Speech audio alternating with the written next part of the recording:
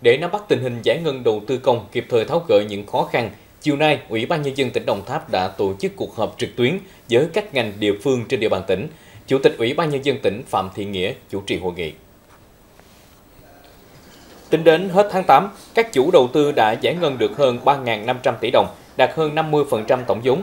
Tỷ lệ giải ngân của Đồng Tháp đang cao hơn khoảng 13,5% so với tỷ lệ ước giải ngân 8 tháng của cả nước, nhưng đang thấp hơn gần 13% so với cùng kỳ. Tổng số công trình đầu tư công xây dựng trên địa bàn tỉnh tính đến ngày 11 tháng 9 là 904 công trình, tăng 20 công trình so với tháng trước. Chủ tịch Ủy ban Nhân dân tỉnh Phạm Thiện Nghĩa đề nghị các sở ngành địa phương cần có sự linh hoạt thích ứng và chỉ đạo tập trung trên tinh thần tránh đổ lỗi cho các nguyên nhân.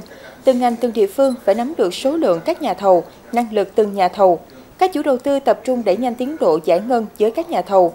Từ đây cho đến hết năm, Ủy ban Nhân dân tỉnh sẽ tiến hành họp tình hình giải ngân đầu tư công định kỳ 2 tuần một lần để thúc đẩy tối đa tiến độ.